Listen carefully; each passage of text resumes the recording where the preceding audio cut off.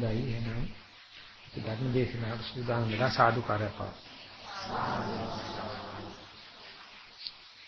නමෝ තස්සේ භගවතු වරහතෝ සම්මා සම්බුද්දස්සේ. නමෝ තස්සේ භගවතු වරහතෝ සම්මා සම්බුද්දස්සේ. නමෝ තස්සේ භගවතු වරහතෝ සම්මා සම්බුද්දස්සේ. කස්සනුකෝ භන්තේ සුභාසිතಂತಿ සබ්බේ සංඝෝ භික්ඛවේ සුභාසිතං පරියායේනාති තී මෑණිවරණි ශ්‍රද්ධා බුද්ධ සම්පන්න පින්වත්නි ස්වාමීන් වහන්සේ අපි මේ ධර්ම දේශනා මාලාවේ මේ අවසාන දවසටයි එහෙම නැත්නම් නිගමන දේශනාවටයි සපත්තුලා තියෙන්නේ. ඉතින් ඒ සඳහා අපි සියලු දෙනාම ඉවසිල්ලෙන් අවධානයේ අපි එකින් එකට එකින් එකට කරගෙන කරගෙන ආපු නිසා අපිට එක දේශනාවකින් තව දේශනාවකට තව දේශනාවකින් තව දේශනාවට එකින් එක ගලපී යන ආකාරයෙන් ගැඹුරකට යන්න පුළුවන් වුණා. අද මේ සූත්‍රයේ අවසාන ජවනිකාව සීපත් කරගන්නයි මම මේ පාඨයේ ඉදිරියෙන් තියාගත්තේ. මොකද්ද? මේ පාඨයේදී මේ දේශනාවට සම්බන්ධ වෙච්ච තෙරුණාංශලා දේශනාවසානයේ දේශනාවට වැඩි එක සාකච්ඡාවක්. සාකච්ඡාවසානයේ කල්පනා කරනවා. හැවැත්නි දැන් ඉතින් අපි අපට අපට තේරෙන තාලෙට මේ ගාථාවට අර්ථකතන සපයා ගත්තා. නරකද අපි ඔක්කොමලා මේ අර්ථකතන ටික සියල්ලම අරගෙන සරුවච්චන් වහන්සේ ගාවට ධර්මස්වාමී වූ සරුවච්චන් වහන්සේ ළඟට ගිහිල්ලා මේක පිළිබඳව වාර්තාවක් කරොත් එහෙම නැත්නම් මේක පිළිබඳව රපෝර්ට් කිරීමක් කළොත් කියලා. ඉතින් ඊට පස්සේ ඔක්කොමලා ඒ අදහසට එකඟ වෙලා සරුවච්චන් වහන්සේ අහමුෙන් ගිහිල්ලා වන්දනා කරලා එකත් පස්සට ඉඳගෙන අවසරයි ස්වාමීන් වහන්සේ අපි මණ්ඩල මාලේ රැස් වෙලා මෙන්න මේ විදිහේ ධර්ම සාකච්ඡාවකට පෙළඹුණා. අන්නේ පෙළඹෙන වෙලාවේදී අපි මේ සරුව වහන්සේ විසින් ඒ අජිතමානව මෙත්තේය මානව කුච්චාවේදී දේශනා කරන ලද මෙන්න මේ ගාථා රත්නය අපි තේමා වශයෙන් තියාගත්තේ උභවන්ති විදිත්වාන මජ්ජේමන්තාන ලිප්පති තම්බ්‍රූමි මහා පුරිසෝති සිබ්බනි මච්චගා සෝත සෝතං සිබ්බති සිබ්බනි මච්චගා අන්න මේ ගාතාව ඉදිරිපත් කරගත්තා. එතකොට අපි ඒක ස්වාමීන් වහන්සේ නමක් මෙහිම මේක සඳහන් කරා. ඒ ස්වාමීන් වහන්සේට තේරෙන තාලට මේ අන්ත දෙක නම් ස්පර්ශය සහ ස්පර්ශය හට ගැනීමයි ඒ දෙක ස්පර්ශාගේ Nirodhe සංගවිගෙන තියෙනවා මධ්‍ය ප්‍රතිපදාව වශයෙන් යම් කිසි කෙනෙක් මේ හිත පුරවාලන හිත සම්පූර්ණයෙන් මත් කරවාලන ස්පර්ශයත් ස්පර්ශ සමුදයත් තහට ගැනීමත් විනිවිද දැකලා ඒ මැද සංගවී ඇති මේ ස්පර්ශාගේ Nirodhaය ක්ෂය වීම වැය වීම ගෙවි යෑම දැකලා එහි නොගැලී ගත කෙරුවොත් අන්න එයා තමයි ඔබ වහන්සේ මේ මහා පුරුෂෙක් වශයෙන් හඳුන්වා තියෙන කියලා අපිට තේරුනේ ඒ ස්වාමීන් වහන්සේට තේරෙන්නේ මේ වෙනකොට එයාට මේ සංසාරිත ගැටලන මහුංකාරියගේ තෘෂ්ණාවගේ ගැලවීමෙන් ගැලවෙන්න පුළුවන් කියලා. එතකොට ස්වාමීන් වහන්සේ තව කෙනෙක් තව ස්වාමීන් වහන්සේ නමක්. ඒ දෙකොන වශයෙන් අතීතයේ සහ අනාගතයේ ගැන හර දැක්ුවා මේ අතීත අනාගත දෙකේ ව්‍යාපෘත වෙලා මත් වෙලා පිළිලා ගත කරන මේ ජීවිතයේ පොඩ්ඩක් නතරලා වර්තමානයේ බැලීම තමයි දුෂ්කර. ඒ දේ තමයි මධ්‍යම ප්‍රතිපදාව. යම් කිසි කෙනෙක් මේ අතීත අනාගත දෙකේ හීනමවණ එක නතර කරලා සතිය පිහිටවලා වර්තමානයේ හිත පිහිටවලා එයිනොත් ඒ වර්තමානයේ පිහිටවපු මධ්‍යම ප්‍රතිපදාවෙත් නොගැලී ඒක නැත්නම් ඒකේ නොදැවටි ඒකෙන් ප්‍රයෝජන අරගෙන ඒකට ගියොත් එවැනි කෙනෙකුටයි ඔබ වහන්සේ මේ මහා පුරුෂයි කියලා සඳහන් කරන්නේ එවැනි කෙනෙකුට මේ තණ්හාව නැමැති ගැටලන්නියකින් ගැලවෙන්න පුළුවන් කියන එක. ඒතකොට තව කෙනෙක් ඉදිරිපත් වෙලා මේ සුඛ වේදනා දුක්ඛ වේදනා කියන වේදනා චෛතසිකයේ ප්‍රකට දේ තමයි අපේ සංසාරේ මත් කරවන්නේ ඒ දෙකේ තමයි මේ සත්‍ය ඇලි ගලි ගත කරන්නේ මේ දෙකේ ඇලි ගැලීම නිසා අදුක්කම සුඛ නම් වූ මේ දෙක අතරමැදි යත්තා වූ මධ්‍යම ප්‍රතිපදාව ගිලිහෙන. මුවා වෙනවා. ඒ නිසා යම් කිසි කෙනෙක් මන අහලා මේ සැප දුකේ ගෙලී ගන්නා වූ පු탁ජන ගතියේ ආදීනව දැනගෙන අදුක්කම සුඛ වේදනා දැනගෙන නමුත් එහි නොගැලී එහි නොදැවටි ඒකත් මගේ කියා ගන්න නැතුව ඒගොඩ වුණොත් අන්න එහෙම කෙනා මහා පුරුෂයා කියලයි තුන්වෙනි ස්වාමීන් වහන්සේ සඳහන් කරේ වෙන කෙනෙකුට මේ තණ්හාව නැමැති සිබ්බණියගේ ගතගනියගේ ගැටවලින් බේරෙන්න පුළුවන් කියලා. ඒකට හතරවෙනි ස්වාමීන් වහන්සේ සඳහන් කරේ මේ ලෝකය නාම රූපේ ගැලී ගන්න දිව්‍යයන් සහිත මරුන් සහිත ලෝකයක් මේ නාම රූප දෙකේ ගැලී ගැනීම නිසා මේ නාම රූපයට හේතු වෙන විඥානේ මුහා වෙනවා. විඥානේ සංගවි ගන්නවා.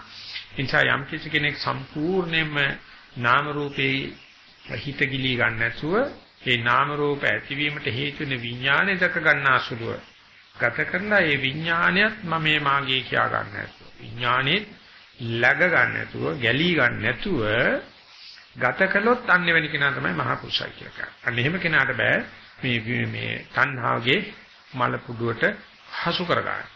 තණ්හාවගේ ගැටලීමට අල්ලගන්න බෑ කියලා. ඒකට තව ස්වාමීන් වහන්සේ නමක් ඉදිරිපත් කිරුවේ මේ අජ්ජත් ආයතන හයත් බහිද්ධ ආයතන හයත් දෙක අපේ හිත සම්පූර්ණයෙන් පුරවලා. ඒ නිසා මේ අජ්ජත් බහිද්ධා දෙක මැද තියෙන විඥානයේ සංගවි ගන්න. නිසා යම් කිසි කෙනෙක් මේ අජ්ජත් ආයතන බහිද්ධ ආයතන කියන දෙයට විතරක් නතු වෙන්නේ නැතුව එයින් සතුටටපත් වෙන්නේ නැතුව ඒ දෙක මැද ඉඳගෙන මේ මායාව කරන මේ අස්පන්දුම කරන විඥානය අල්ලගත්තොත් ඒකලත් විඥානය läගගත්තේ නැත්තම් එවැනි කෙනෙකුට මහා පුරුෂ කියලා කියන වදිනවා තණ්හාවගේ ගැටේට අහුවෙන්නේ නැහැ කියලා. ඒකට අවසාන ස්වාමීන් වහන්සේ සඳහන් කරේ මේ සක්කාය සහ සක්කාය සම්දී. මම මේ මාගේ කියන අදහස අපි කවුරුත් දන්න දෙයක්. වැඩිම වුණොත් අපිට ඒක හටගන්න හැටි දැනගන්න පුළුවන්. නමුත් කවදාකවත් අපිට බේන්නෙත් නැහැ අපිට අහුවෙන්නෙත් නැහැ මේ සක්කායගේ Nirodhaය. ඒක මුහා කරලා තියෙන කුල්ලෙන් වහලා තියෙන්නේ. අන්නේ Nirodhaය දැකගත්ත කෙනාට මහා පුරුෂය කියන වටිනවා. එවැනි කෙනාට මේ තණ්හාවගේ පුඩුවට අහු නොවි මල පුඩුවට අහු නොවි ගැටේට අහු වෙන්නේ නැතුව ගෙත්තමට අහු වෙන්නේ නැතුව බේරෙන්න පුළුවන්. ඉතින් ස්වාමීන් වහන්සේ කසනකෝ බන්තේ සුභාසිතන්තු මේ කියන ඒ විවරණ හයෙන් අර්ථකථන හයෙන් කුමක් නම් සුභාසිතයක්ද කුමක් නම් මනාකොට කියන ලද්දක්ද කියලා සරුවචනාංශයට මේ වෙච්ච සාකච්ඡාවේ කෙටි අර්ථය එහෙම නැත්නම් පින්ඩාර්ථය ඉදිරිපත් කරා. ඒකෝට සරුවචනාංශයේ දෙන උත්තරේ තමයි සබ්බේ සංඝෝ භික්ඛවේ සුභාසිතම් පරියායන. මහණනි මේ සියල්ලම සුභාසිත ඒ ඒ දෘෂ්ටි කෝණ වලින් බලනකොට. අපි ප්‍රශ්නේ බලන්නේ ස්පර්ශයේ පැත්තෙන් නම් ස්පර්ශයත් ස්පර්ශයේ සමුතයක් දැකීම තමයි අන්ත දෙක මැද වෙන්නේ ස්පර්ශ නිරෝධය. මේ විදිහට විඥාන නාම රූප සලායතන ප්‍රස්ස වේදනා කියන මේ ඔක්කොම පැති පැති වලින් මේ අන්ත දෙක සහ මැද නියෝජනය වෙනවා. එක එකන එක එක පැති වලින් ඒක ඉස්මතු කරගෙන මතු කරගත්ත මතු කරගත්ත විදිහෙන් තම තමන්ගේ ගැටේ ලියා ගන්නවා නැත්නම් සංසාරේ ගැලවෙනවා කියන එක ਸਰුවත්යන්සේ සඳහන් කරනවා සුභා සබ්බේ සංභෝගිකව සුභාසිතා. පරියායේන. මහනි මේ සියල්ලම සුභාසිත ඒ ඒ දෘෂ්ටි කෝණයෙන් බලනකොට. කියලා ਸਰුවත්යන් සඳහන් කරනවා එදා ඒ තිස්ස මානවක තිස්ස මෙත්තේය පරිබ්‍රාජක අහනකොට මම ඇත්තටම ඒකෙන් අදහස් කිරුවේ මේ ස්පර්ශය සහ ස්පර්ශ සමුදයයි. අන්ත දෙක වශයෙන් ස්පර්ශාගේ නිරෝධයයි.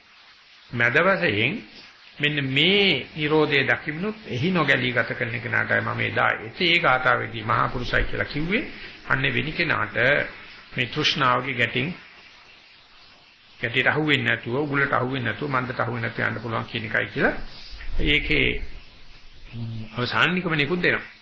ඉතින් අපි මේ සියල්ලම දැන් මේ වෙනකොට මේ දවස් 9 ඇතුළත ගත කරගෙන තියෙනවා.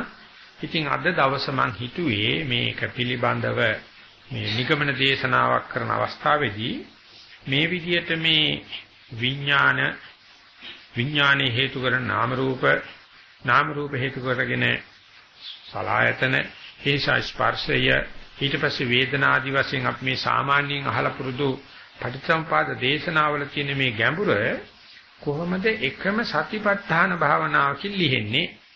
කොහොමද ඒක මේ සතිපට්ඨාන කිරීමේ මෙවැනි ගැඹුරු දේවල් අපට විස්තර විභාග වෙන්නේ විසිතුරු වශයෙන් වටහා ගන්න පුළුවන් වෙන්නේ කියලා යම් කෙනෙක් මෙවුවා පිළිබඳව මෙච්චර ගැඹුරක් මෙච්චර බණක් මෙච්චර pāli භාෂාවක් නොදැනගත්තත් මේ සතිය පිහිටවීමෙන් සතිපට්ඨානය වැඩිවීමෙන් මේ සියල්ල දැක ගන්න හෝ එහෙම නැත්නම් ඒ Taman අහුවෙලා ඉන්න ගැටෙන් ලිහෙන්න පුළුවන් වෙයිද කියන මේ දැනුම් ටික සතිය හරහා සතිපට්ඨානය හරහා බැලීමට වෙලාව ගන්න කියලා. මේක විශාල අපි බුද්ධ ධර්ම දිහා බලන හැටි, භාවනා දිහා බලන හැටි, විපස්සනා දිහා බලන හැටි, සතිපට්ඨාන දිහා බලන හැටි පිළිබඳව විශාල එහෙම නැත්නම් හැබෑම හැබෑ වෙනසක් ඇති කරන දර්ශනයක් වෙයි කියලා මම බලාපොරොත්තු වෙනවා. ඒ මොකද ඒ සතිපට්ඨාන සූත්‍රයෙන් ගත්තොත් ඒකදී සරුවචනාංශය සඳහන් කරලා තියෙන්නේ ආරඤ්‍යගතෝ වා රුක්ඛ මූලගතෝ වා ශුඤ්ඤාගාරගතෝ වා නිශීදති පල්ලංකං ආභුජිත්වා උජුං කායම් පනිදාය පරිමුඛං සතින් උපට්ඨපෙත්තා කියලා. ඒක මේ පරිමුඛං සතින් උපට්ඨපෙත්වා කියලා කියන්නේ සතිය පෙරටුවේ තබාගෙන කියලා. ඉතින් සමහර ඇත්තෝ උපරිමුඛං සතින් උපට්ඨපෙත්වා කියලා උපරිමුඛ කියලා කියන්නේ තොල උඩ කියන අදහසෙමුත් සඳහන් කරලා තියෙනවා. ඒ වෙනතන් නාසිකාග්‍රේ සතිය පිහිටුවා ගත්තාම කරන කියාම ඉස්සරහින් සතිය තියාගත්තා වගේ කියන අදහසක් එනවා. අපේ මූණ ඉස්සරහින් තමයි නාසිකාග්‍රේ තියෙන්නේ. අපේ මූණ ඉස්සරහින් තමයි උඩුතොල තියෙන්නේ. ඒ නිසා සතිය එතන පිහිටුවා ගැනීම සතිය පෙරටුවේ තබා ගැනීමක් කියලා භෞතිකාර්ථයෙන් අර්ථකථන සමහර වෙලාවට දෙන්න හදනවා. නමුත් මම කියවපු පොත්වලින් ඔය මහනුවර ග්‍රන්ථ ප්‍රකාශන මණ්ඩලයේ අපේ ඒක සමුත්පාදක ජර්මන් ජාතිකේ ඥානපෝනික ස්වාමීන් වහන්සේ මේක බොහෝම ලස්සනට විග්‍රහ කරලා පෙන්නනවා. ඒ Power of Mindfulness කියන ඉංග්‍රීසි පොතේ හෝ මේට අවුරුදු 20 ගානකට 30 ගාන ඉස්සෙල්ලා ඒක පරිවර්තනය කරා සතියේ බලමයි මේ කියලා.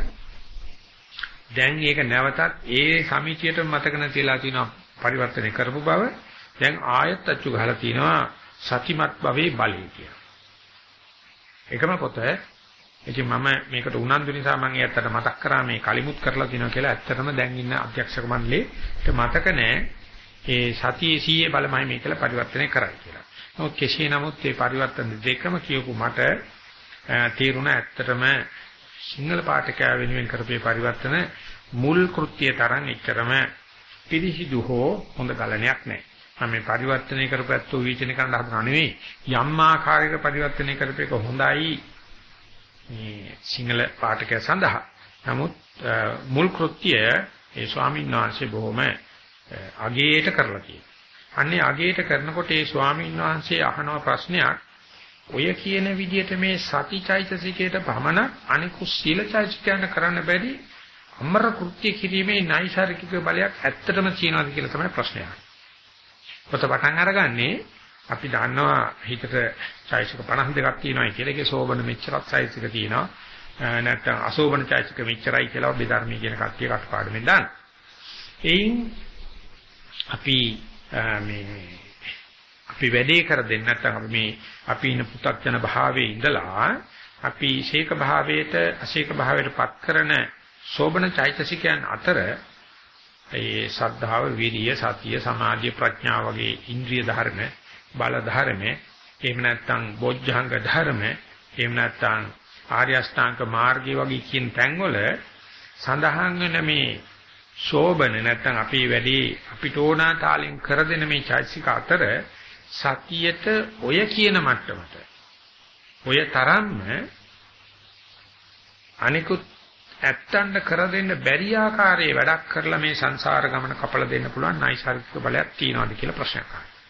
ඊට පස්සේ ස්වාමීන් වහන්සේ පෙන්ලා දෙනවා මුළු බෞද්ධ ලේඛන කලාවම හරහා බලනකොට එහෙම නැත්නම් දේශන එහෙම නැත්නම් මෙතෙක් හෙලි දක්වලා තියෙන සංග්‍රහ ග්‍රන්ථ දිහා බලනකොට කිසිම තැනක එහෙම බවක් පේන්න නැහැ කිසිම තැනක කිසිම කෙනෙක් මේ චෛතසිකයන් අතර සතියයි ප්‍රධාන කියන එක හඳුනගන්න උත්සාහ කරලත් නැහැ.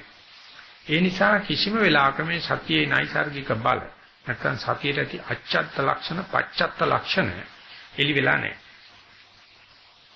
ඉතින් එහෙව්තියෙද්දී මේ සතිපට්ඨාන සූත්‍රයේදී සරුවච්චන් වහන්සේ පරිමුඛං සතින් උපට්ඨපෙත්වා කියලා සතිය ඉස්සරහට ගන්න කියලා කියන එක භාවනා කරන කෙනෙකුට පොතක් ලියන කෙනෙකුට කියවන කෙනෙකුට මතුවෙච්ච එක ඒ බැලිම බලන්න ඕන කියලා මතුවෙච්ච එක අපේ වාසනාවක් කියලා මට ඒ මොකද නැත්තම් අපි මේ ඒ වාගේ විප්ලවීය ආකාරයට සතියමයි ප්‍රධාන දේ සතියට ඒ දේ කරගන්න පුළුවන් ශක්තිය තියෙනවා.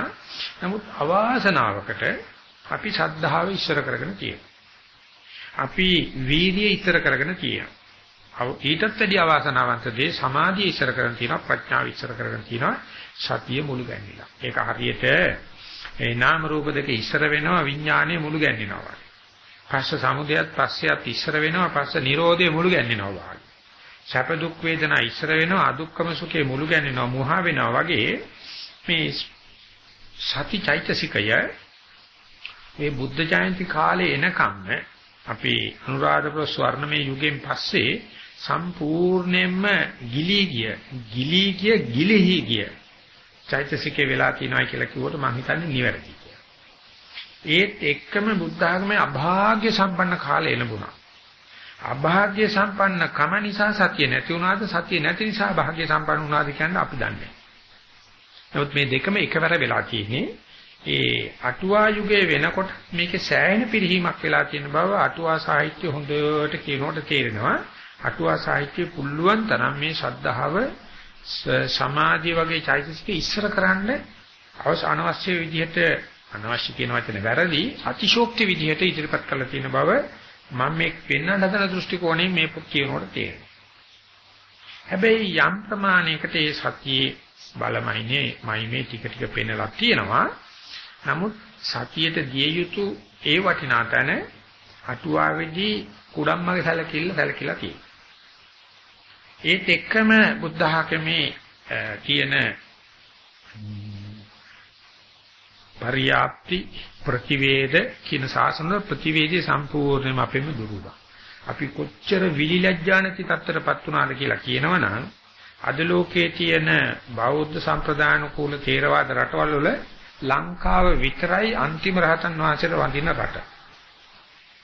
අපි මලියදේව මහරහතන් වහන්සේ හිටපු විහාරයට ගිහිල්ලා අනේ අපේ රහතන් වහන්සේලා පරපුරේ අන්තිම හිටපෙකනා කියලා රහතන් වහන්සේලාගේ මිනි පෙට්ටියට ඇන්න ගහලා ඉවරයි දැන් බොහොම කාලෙකට ඉස්සෙල්ලා. අනික හැම තැනකම දැන් රහත් වෙන්න උත්සාහ කරන රහතන් වහන්සේලා ඉන්නවා කියලා පිළිගන්න. අපේ ශාසනයේ අන්තිම රහතන් වහන්සේට වැඳලා අත පිහගෙන දැන් මෛත්‍රී බුදුහාමුදුරේකන් දිවදික් කරගෙන ඉන්නවා. මේකට හේතු උනේම මේ අනවශ්‍ය විදියට සතිය මේ පැත්තක දාලා ශ්‍රද්ධාව එහෙම නැත්නම් වීරිය නැත්නම් සමාධිය සමහර ඥානවන්ත පොත්පත්තිය නැතු ප්‍රඥාව විශ්සර කරපු නිසා ශ්‍රද්ධා සත්‍ය මුළු ගැනීමලා තියෙනවා. මේ ඥානපෝනික සංසිතාත්ම ලස්සන ඉතිහාසය සඳහන් කරන්නේ නැතුව මේ ප්‍රශ්නට උත්තර දීලා කියනවා යම් කිසි කෙනෙක් මෙන්න මේ වෙච්ච වැරද්ද දැකලා ඉතිහාසගත වැරද්ද ඒ වගේම මේ කෙලෙස් සහිතව කල්පනා කිරීමේ වැරද්ද ඒ වගේම බුද්ධ වචනේ හරි හරියට නොදැනීමේ වැරද්ද කියන එක හරියට දැනගෙන සතිය ඉස්සරහට තියන්න ගත්තොත් එදා ඉඳලා මේ මිනිස්යාගේ හැබෑම හැබෑ වෙනසක් වෙනවා. නමුත් ඒ ස්වාමීන් වහන්සේම තර්ක කරනවා එවැනි හැබෑ වෙනසක් ඇති කරන සතිය මේ මෙච්චර ලස්සනට මේ ලයිස්තු එක තැනක තියේදී ඇයි සද්ධාව ඉස්සරහට එන්නේ ඇයි වීර්යය ඉස්සරහට එන්නේ ඇයි සමාධිය ඉස්සරහට එන්නේ ඇයි ප්‍රඥාව ඉස්සරහට එන්නේ කියලා කිව්වොත් උන්වහන්සේ කියනවා සද්ධාවට ප්‍රාතිහාර්ය පාන්න පුළුවන්. වීර්යයට ප්‍රාතිහාර්ය පාන්න පුළුවන්. සමාධියට ප්‍රඥාවට ප්‍රාතිහාර්ය පාන්න පුළුවන්. හැබැයි හැමදාම මේ සෙල්ලම කරන්නේ. වරින් වර හිතා ගන්න බැරි ප්‍රාතිහාර්ය පාන සද්ධාවෙන් වැඩ කරන්නේ නැත්තෝ. වීර්යයෙන් සතියෙන් වීර්යයෙන් සමාධියෙන් ප්‍රඥාවෙන්.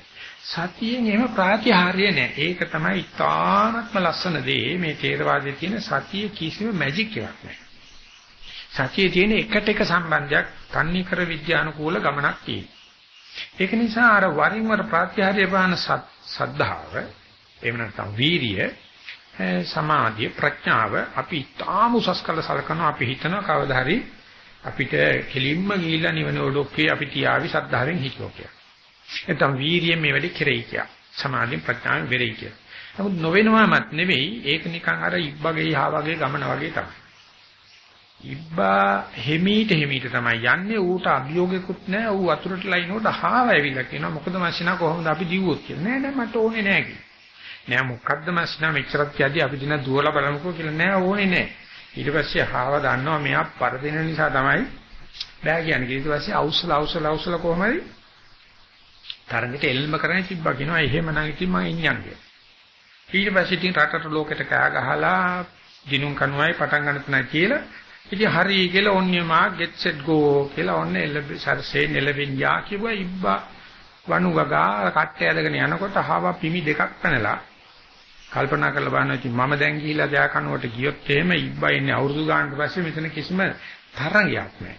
ඒක නිසා ඉබ්බා ඔය එවිලා ඉබ්බා ජය කනුවට එනකොට මමත් ගිහිලා දිනන්න ඕන කියලා පොඩ්ඩක් පඳුරකට හාන්සි වෙනවා. අන්නේ වගේ වහා පැනගෙන ගිහිල්ලා ලොකු කිමි පන්නනවා මේ ශද්ධාව. මේ වීර්යය. මේ සමාධිය මේ ප්‍රඥාව. සතිය යන්නේ ඉබි ගමනේ. හැබැයි හාවට වගේ නිින්ද යන්නේ. ඌ අනුගග වනුගග වනුගග ගිහිල්ලා අන්තිමට ජය කනුව පහු කරනකොට එන ගෝසාවිදි තමයි හාවට නිින්දෙන් හැරෙන්නේ. එතකොට වැඩි පමණ. එනිසා සද්ධාව නරක දෙයක් නෙවෙයි. වීර්ය නරක දෙයක් නෙවෙයි. සමාධිය නරක දෙයක් නෙවෙයි ප්‍රඥාව නරක දෙයක් නෙවෙයි නමුත් මේ සතියේ එහෙම සිලිලාරයක් නැහැ සතියේ එහෙම මැජික් එකක් නැහැ කුම්බා දැක්වීමක් නැහැ අන්ධහැරයක් නැහැ වැඩේ බාර දුන්නොත් කරනවා හැබැයි ඒ ඥානපෝනික ස්වාමීන්ගේ නම නැවත නැවත මේ ධර්ම දේශනාවේ සඳහන් වෙනවා උන්වහන්සේට ස්තුතිව උන්වහන්සේ සඳහන් කළා තියෙනවා සතිය කවදාකවත් කැපී පෙනෙන්න කටයුතු කරන්නේ නිසා සත්‍යයේ ඉදිරිපත් වෙලා මාව ඉදිරියට ගන්න කියලා කවමදාකවත් කියන චරිතයක් නෙවෙයි නාටකමක් නම් චරි සතිය නිතරම පසුගාමි සමාජශීලී නොවන චරිතයක්. ශ්‍රද්ධාව උද්ද පැනගෙන ගිහිල්ලා තමා විශ්ීම තමන් යෝජනා කරගන්නා જાති චරිතයක්. වීර්යයත් ඒ වගේ කඩාගෙන ඉදිරියන චරිතයක්. සමාධියත් එම ප්‍රඥාවක්. අන්න එවැනි පස්වෙනි අතර මේ සතිය ඊ타ත්ම පසුගාමි හැබැයි වැඩක් දුන්නොත් අතනාරින කෘත්‍යයක් කරනවා. ඒ අපේ ඒ නිසනවනේ හිටිය අය වනුසල නැති වෙලා පොඩි නේරිස් කියලා අපේ කැපකාරී. ඉතින් මම පැවිදි වෙච්ච අලුතෙන් මගේ මට හම්බුනේ හයේ කුටිය. දවසක් කාන්තෝරේ ගෙවල තියෙනවා කුටිය වටේ තනකොළ ගලවන්නේ කියලා. ඉතින් මයිත් එක්ක කටයුතු කරනවා මම ඉතින් ගිලම්පත ටිකක් එහෙම දීලා කතා ඇඳදී පොඩි නේරිස් මට කතාවක් කියලා දුන්නා. අවසර මම කතාවක් කියන්නේ කිව්වා බොහොම හොඳයි කියලා මාත් ඉතින් එතන සක්මණේ කියන ආසනේ වාඩි වෙලා ඉන්නකොට කිව්වා මේ ඉස්සර කාලේ රජ කෙනෙකුට හිටියලු කුමාරිකාව 6 දෙනෙක් 6 දෙනාම ලස්සනයි. එක්කෙනෙක්වත් විවාහ වෙලා නැති. ඔක්කොමලා විවාහ වෙන වයසේ ඉඳලා තියෙන්නේ පස්සේ ඉතාමත් ප්‍රසිද්ධ ඒ සියලු ස්ත්‍රීන්ගේ සිත් බඳනාසුළු පෞරුෂ ලක්ෂණ සමන්විත අනංග කුමාරයා කියලා කුමාරෙක් ඇවිල්ලා රජුරවන්ට කිව්වලු මම කැමතියි කියලා බෑනරිය. ඊට පස්සේ රජු ලෝකවල වෙනනම් මේ හය දෙනාගේ කැමැති කෙනෙක් තෝරගන්න. ඊට පස්සේ සොයන්වරක් දීලා. මේ හය දෙනාට කියලා තියෙනවා අවල් දවසේ අනංග කුමාරයා එනවා. ඒක එක්කන තම තමන්ට කැමැති විදියට තමන්ගේ ශිල්ප දක්වන්නේ. ඉතින් අර එක කුමාරිකාවක් හිටියලු කෑමේ යන්නේ ඉතාමත්ම දක්වලු මාලිගාවට එන්නකොට කටට කෙල උනන තාලෙට විශාල කෑම මේසයක් හදලා අනංග කුමාරයා එන්නකම් බලන්න කියලා. තව එක කුමාරයෙක් හිටියලු ඉන්ටීරියර් ඩෙකරේෂන් වලට දක්ෂයි මාලිගාව ලස්සනට හදලා තිබුණලු එන්නකොට කවුද මේක කිරුවේ කියලා අහන විදියට ඒක හදලා දැන් මාලිගාව බලන්න ඉන්නවා. තුන්වෙනි කුමාරිකාව ලෑන්ඩ්ස්කේපින් දන්නවලු මාලිගාව වටේට ලස්සන වල් හරිගස්සලා මාලිගාව මාලිගාවක් කරලා යා බලයි. හතරවෙනි කුමාරිකාව ඇඳුම් කැපීමේ සහ මැහිමේ දක්ෂයිලු. එයා සම්පූර්ණ ලස්සන ඇඳුමක් ඇඳගෙන එනකොට ඉස්සරහට යන්න ලෑස්තිලා ඉන්නවා. ඊගාව එක්කනා මට මතක නැහැ හරිය මොකක් හරි අපි යමු කොණ්ඩ මොස්තර කිය. ඒක ලැහැති වෙනලු අන්තිම කුමාරි බාලමේකි මොනවාක්වත් දන්නේ නැහැ. අනංග කුමාරයා එනකොටම ඈත කියලා දැක්කලු මාල්ගාව වටේ බොහෝම සිරියවන්තයි ලස්සනයි ඉතින් කෙනකින් අහනකොට මේක බොහොම ලස්සනට ගැලපෙන්න හදලා තියෙන විදිහට අර කුමාරික ඇවිල්ලා මම තමයි මේක කිරුවේ එන්න ඕක ඇතුළට යන්න එපා මේක බලලා යන්කෝ කියලා මාළිගාව වටේ රවමක් ඇවිදලා එයා ලකුණු ගත්තා. ඇතුළට යනකොටම අර ඇඳුම් ලස්සන අඳින්න මාළික කුමාරිකාවයිට ඇවිල්ලා තමන්ගේ රූපෙට ගැලපෙන ඇඳුමක් අඳගෙන කුමාරිකත්ව පිළිගන්නකොට ඒ කුමාරයාට බොහොම ලස්සනට හිත ගියාලු ඒ කුමාරි ලස්සනට ඇඳුමක් අඳගෙන. ඊට පස්සේ අනික් කුමාරි ගේ ඇතුලේ තියෙන දේවල් කලපලා හරිගස්සලා ඇතුලේ ලස්සන කරලා මාලිකා වටේ රවමක් ආදනවා. ඊට පස්සේ අර කෑම උයක එක්කනා ගිහිල්ලා කෑමේ පාඩි කරලා බොහෝ හොඳට සලකුවාලු. ඉතින් අර මට මතක නෑ මොකද්ද කොණ්ඩ මොස්තර කාර්යයක් මොකක් හරි කරලා කුමාරිගේ හිත ගත්තලු. පස්සේ අන්තිමට රජු රෝගවලු 6 දෙනෙක් කෙනෙක්ලා හදලා පෙළ ගැස්සුවා. පෙළ ගැස්සලා ඉවරලා දැන් මේ කුමාරයා පළවෙනි එක ළඟට යනකොට එයා දන්නවා දැන් මම තමයි වටේට මාලිගාව හැදුවේ. එයා දන්නවා මේ ශිල්පේ මට තරම් අනික් අය දක්ෂ නැහැ. ඊගාව එක්කනා ඇතුලේ ලස්සනට හදන්න දානවා. එයා දන්නවා මේ වැඩේට මට ගහන්න කෙනෙක් නැහැ. මාලිගාවෙත් නැහැ රටෙත් නැහැ. ඒකේ කෑම වෙන එක දන්නවා. මගේ කෑම කෑවොත් ඉතින් ආයෙක වශී වෙනවම තමයි. තව එක්කෙනෙක් ඉතින් අඳුම් ගසයන් ටික නකොණ්ඩ මොසලන්ති ඔක්කොම අහගෙන ආන කුමාරියා කියනකොට ඒ ඇත්තන්ට හැම කෙනාටම මුව පිරෙන්න කියන දේවල් තුන අන්තිම කුමාරගෙන් අහවලු ඔයාගේ දක්ෂකම මොකක්ද ඊට පස්සේ මේ හය දෙනත් එක්ක ඉන්න එක කිව්වා මේ පස් දෙනත් එක්ක මම ඉන්න එක තමයි එකම දක්ෂකම කියලා ඉතින් අනංග කුමාරයා බැන්දේ ඒ කුමාරි කියලා ඒ නිසා මේ උඩ දාන සද්ධාාවක් එක්ක ගත කරන සතියට වඳින්න වටිනවා. මේ උඩදාන වීරියක් එක්ක වැඩ කරන සතියේට මෙච්චර කල් මෙයා හැංගිලා හරි ආපේකට වඳින්න වටිනවා. ඒ වගේම මේ සමාධියට ලෝකේ දක්වන සැලකිලිත් එක්ක සතිය කතාකත් තමනාපකමක් නැහැ. මේ ප්‍රඥාව කියනවා ලෝකෙම දුවන්නේ ප්‍රඥාව මතින් කියලා ඔක්කොමලා පිටිපස්ස යන්නේ ප්‍රඥාවේ. නමුත් සතිය කවදාකවත් ගැටෙන්නේ.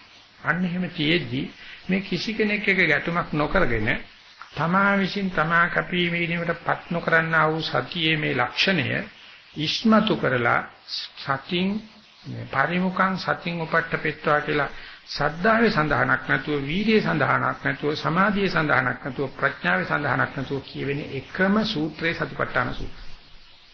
අපි ඉතින් වැරදිලා හරි කමන්නේ හරි ගිහිලා හරි කමන්නේ සතිපට්ඨාන සූත්‍රයේ ගෞරව සම්ප්‍රයුක්ත ඉස්සරහින් තියාන කියන. නමුත් ඒකේ තියෙන මේ සතියයි මේකේ මේ කෘත්‍ය කර දෙන්නේ කියලා කවුරක්වත් දන්නේ නැහැ. ඒ නිසා ඒ ඥානකෝණික ස්වාමීන් වහන්සේ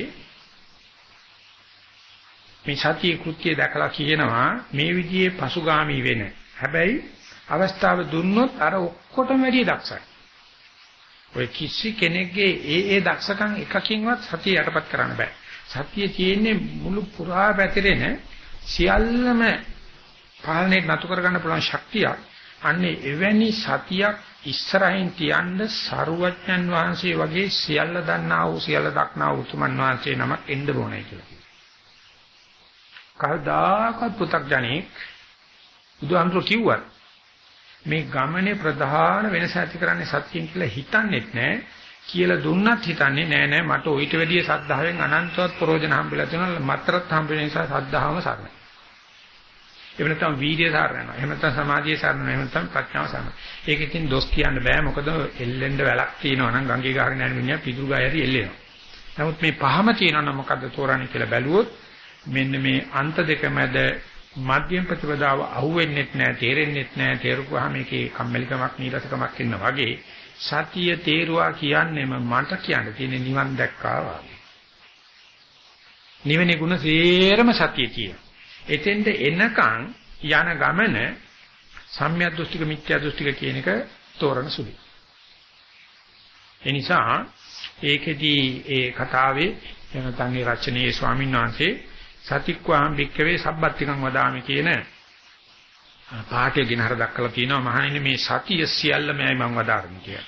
ඒ නිසා ලෞකික ලෝකෝත්තර සෑම දෙයක්ම ළඟා කර ගැනීමට සතිය බුද්ධජානනාංශිකේ ශ්‍රී මුක දේශනාවක් වශයෙන් ඉදා ඉඳලා තිබිලා තියෙනවා. උන්වහන්සේ පිරිනුවම් පාන වෙලාවේදී ඉක්කතු වෙච්ච සිවණක් පිරිසට දෙවියන් සහිත මරුන් සහිත ලෝකෙට කිව්වේ අප්පමාදේන භික්කවේ සම්පාදේත වය ධම්මා සංඛාර. මහණෙනි මේ සියලු සංස්කාර ධර්මියෝ වැය වෙන සුළු නිසා අප්‍රමාදීය. එතන මේ අප්‍රමාදී කියන්නේ සතියයි කියලා අටුවා පිළිගන්නවා සතියෙන් කටයුතු කරන්න කියලා. ඒ කියන්නේ 545ක් දේශනා කරපු ධර්මයේ පිටු කරේ තනි වචනෙට අප්‍රමාදී. අප්‍රමාදයේ සමානයි සතිය.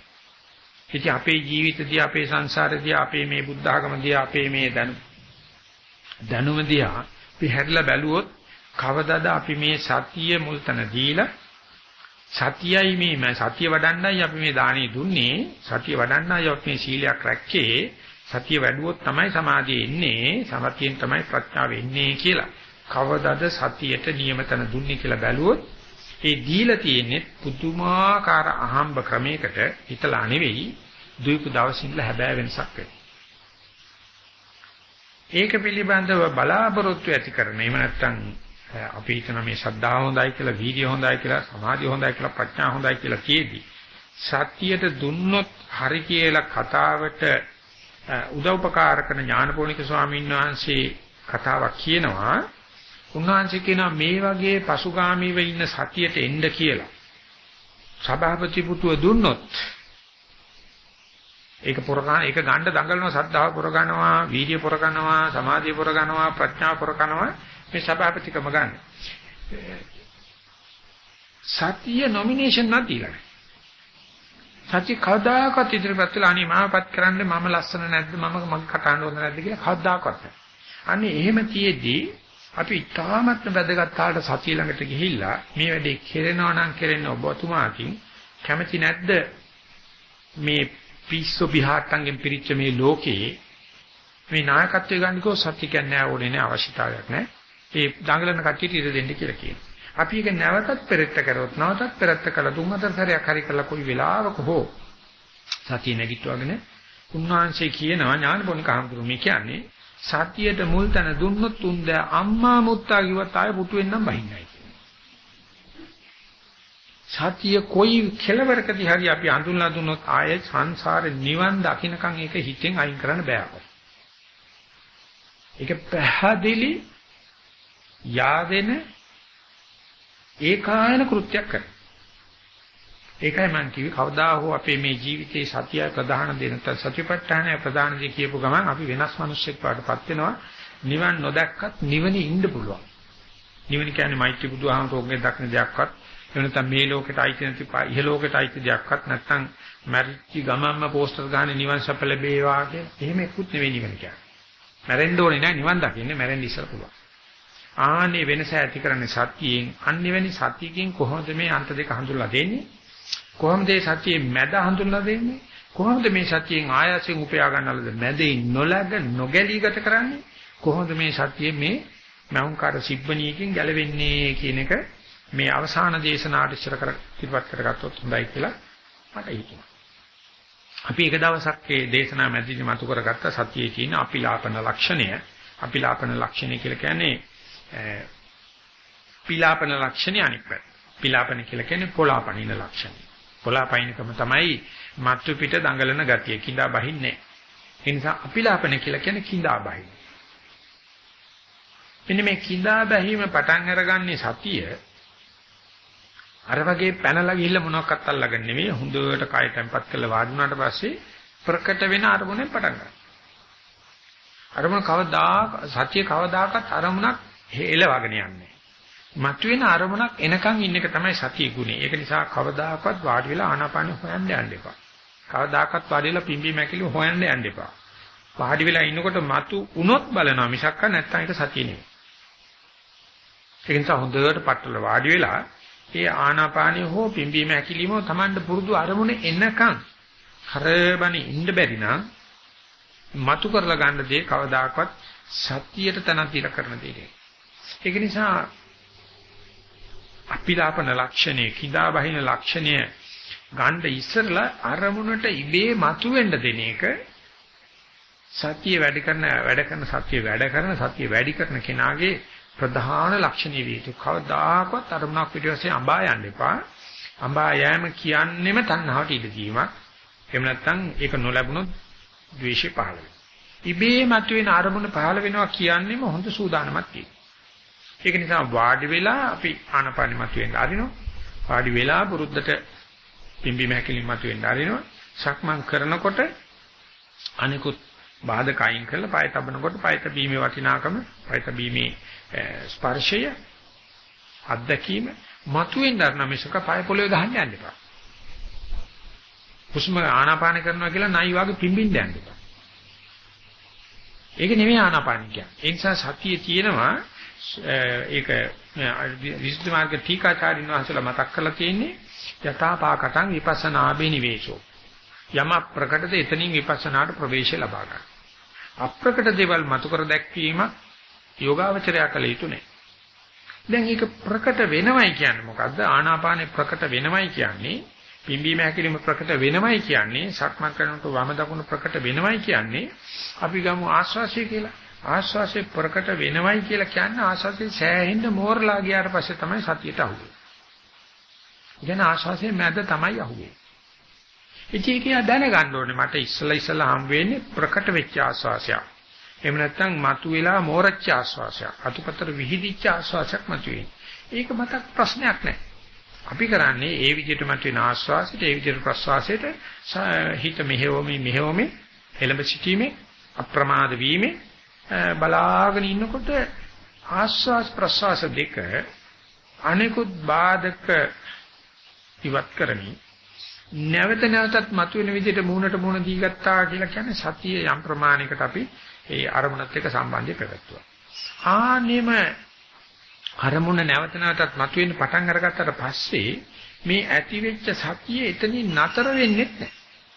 ප්‍රකටණින් පටන් අරගත්තට නැවත නැවත මතුවෙන තාලට මේ දෙන්න අතර සහ සම්බන්ධතාවය ඇති වුණාට පස්සේ අර සතියෙන් දැන් දන්නවා මේ අරමුණ පිටපණින්නේ.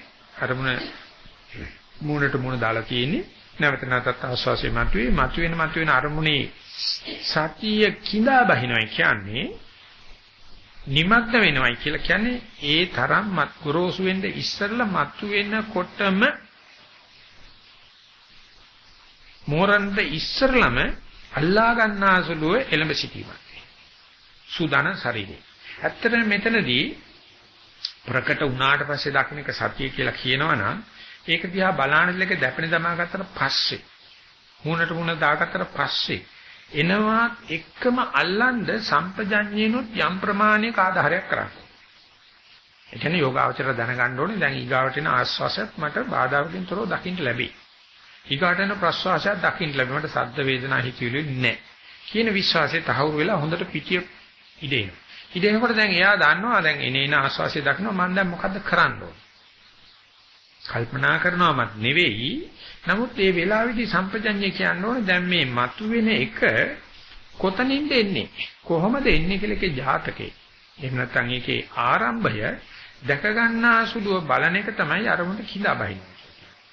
එහෙම නැතුව අරමුණ ඔහේ බල බල කොච්චර වෙලා හිටියත් ඒ අරමුණු රසයක් ගන්න බෑ. අරමුණු කිඳා බැහිමක් වෙන්නේ සතිය දියුණුවක් වෙන්නේ සතියේ ප ဋ ාණයක් නැත්නම් සතිය ස්ථාවර වීමක් වෙන්නේ අනිත් එක මෙතන අර්ථය ගන්න පුළුවන් ප්‍රමාදේ අරමුණු මේරුවාට පස්සේ දකින්නක ප්‍රමාදේ අප්‍රමාදේ කියන්නේ මෝරණ්ඩ ඉස්සල්ලා දකින්න සුළුව අරමුණු මතු වෙනකොටම සූදානම් ශරීරයෙන් බලන ඉන්න එකට කියනවා අප්‍රමාදී. කියලා. ඒ නිසා මෙතන සතිය සහ අප්‍රමාදී කියන දෙකට එකිනෙකට අකිනත ගැනීමෙන් සජීවී අර්ථයක් මතුවෙනවා. මේක අපි සාමාන්‍ය විවහාරයෙන් කියන්නේ අරමුණට බින්දා බහිනවා කියලා.